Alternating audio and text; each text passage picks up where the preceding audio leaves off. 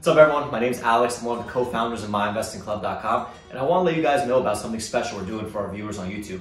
So the most common question we get asked is, you know, how do I start day trading? So what me and my mentor Bao did is we create a free two-hour mentorship course for the brand new trader. It's going to be available at myinvestingclub.co. The link is going to be right here.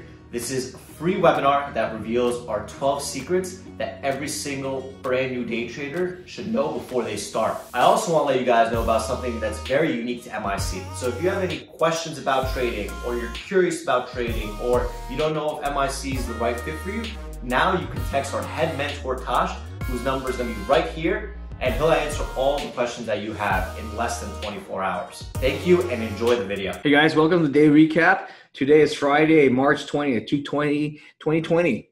We're in the full bloom of the coronavirus, man. And so I wanted to um, help navigate the waters here and show you, you know, within how, how to safely pick a stock because there's so many running, man. There's huge stuff on Scanner.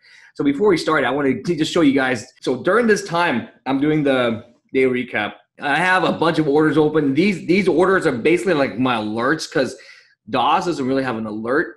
And so I put out small size so that when it hits it there, I turn around, I can see what's going on. So that's that's my fantasy order. And so when it gets down, so let's say TNXP, when it gets down to an area that's resisting, I'll keep adding more. So these are kind of like my starter fantasy orders. I'm just putting out so that it kind of triggers it, so I can I can see, so I don't have to look at it, right? Anyways, so that's why I want to show the people there. But let's let's start. So so the coronavirus is running crazy, man. You have stocks that are going ballistic. Look, take a look at this stock. Look at it's up like 600%, man. Yesterday was like previous close was three bucks. Holy crap, right? So I mean, how how do you trade this shit? How do you trade this shit? Okay, my goal today is not to curse much. Let's see if I can do it, guys. Let's do this. So I'm gonna show you my daily routine. That's the first thing I do. I wake up in the morning. So I keep talking about this all the time, man. Trading begins before you even sit down on the computer. So yesterday I went to bed very early. I was very tired. Eight o'clock, nine o'clock, I was already snoring.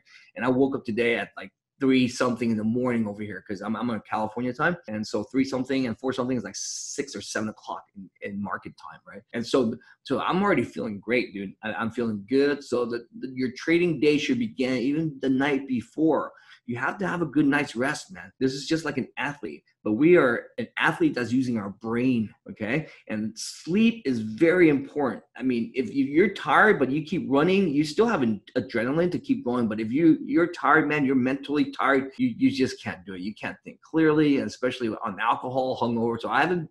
I've been pretty good, man. I've I've not been drinking on weekdays for a long time now, and so. But when I do, I just take the day off, guys. Sometimes it's not worth it. And so you know yourself. Sure, you can make money because when you're hungover and drunk, you don't really care. And so you're numb to the losses, but then, you know, this is not smart. So my first advice to you is this, man. Get your personal shit in order before you even get onto the computer to trade.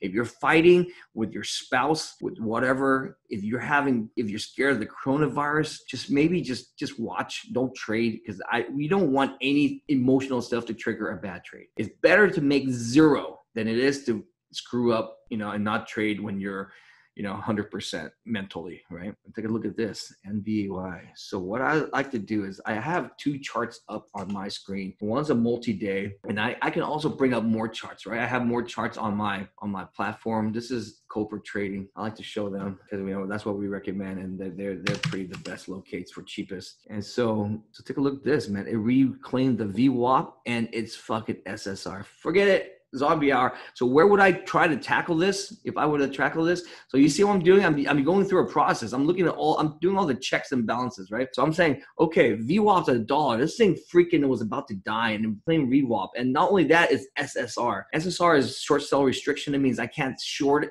It makes it shorting tougher because you have to short on an uptick, meaning you have to be on the offer. You, you, you can't slam it when going down. So you have to fight the trend. So let me explain SSR to you guys how it works, okay?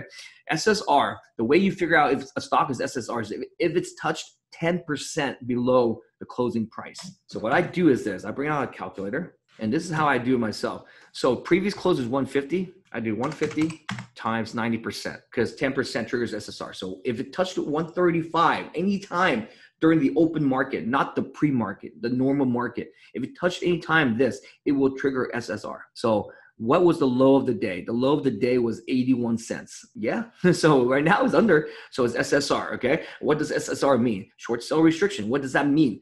Short sell restriction means if you're shorting, you cannot slam the bid. You can only short on the uptick. That's the offer. And so you are fighting the trend. You can only short when the stock is going up. And you know, for for me, as it's fine but it makes trading really tough because they can put 100 shares in and they can manipulate it and you cannot slam it you see what i'm saying? They can hold this up they can play games so it makes it makes it very difficult for short sellers okay? And so look at this man they squeeze this up. So i recognize this to be a no touch around there. If i wanted to 120 line might be the way to go. So let, let me fuck man don't fucking copy me. I'm gonna lose. I would i would just take a short uh, short here man this is, I consider this to be the outer line. Why not? This would be the outer line. So if you take a look, I mean, I shorted down here ahead of zombie time and I stuck to the rules. I stopped, I covered, and I got the fuck out. And so, you see what I'm saying? So now I'm looking at the, the top, which is the 120 line. So if I wanted to, I would do a small, since it's zombie hour rules, I shouldn't be messing around. But if I did, you know, I would be doing small with a stop of maybe like, I would usually on these I would do two lines, like down to 130 and 120, but but very small size, man, just just small. But you know, sometimes not even worth it. The way you trade is so that's still anticipation. Anticipation is when you try to anticipate where it's going to go. So now it's going back on the front side again. This is still a backside, but now it's over VWAP. I can still consider this is like a bounce. And so if I put it at 120, it's still anticipation, but it's, it's, a, it's a calculated risk. I'm using the old data, which is the old resistance. See, resisted at 120. So remember I said the, the support turns into the resistance. And that's why you see here. This is a, so this stock already identified as conforming to the chart. When I look at this chart, I go, this is a very high probability high probability trade for me is because this stock conforms to the chart. And what the chart shows me is this: it bounced off of 120, and so 120 was a is a support line. In the morning is a support line, and then it broke down. And what happened? Support becomes resistance on the way back up. So it resisted on the way back up. The reason why it does this is because, in my opinion, this is this is just my bagholder theory, but I think it's right. It's the fact that too so many guys, this overhead supply. There's guys buying at 120 as a support.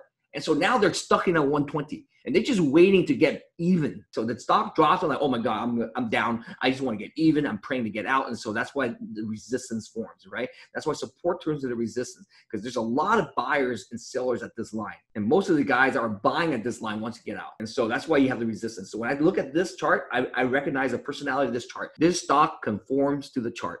I thought, cool, man. So I can start doing my process on it because if this if this thing just does whatever it wants to do, how can I ever guess, you know, what it's going to do? So I'm trying to predict what it's doing based upon the historical and it's conforming the chart. You guys understand this concept? I, I, I talk about a lot conforming to the chart, right? And so I could probably put a, an order near 120 and see how it performs you know, I'm not going to do it now, but you, I would have put like maybe 117, 118, 119, whatever you wanted to do, right? One small order there just to, you know, play by the probability. How much do you into account volume of individual? You guys are being too technical on these questions. What percentage of this I, I look, I mean, the key is to eyeball it.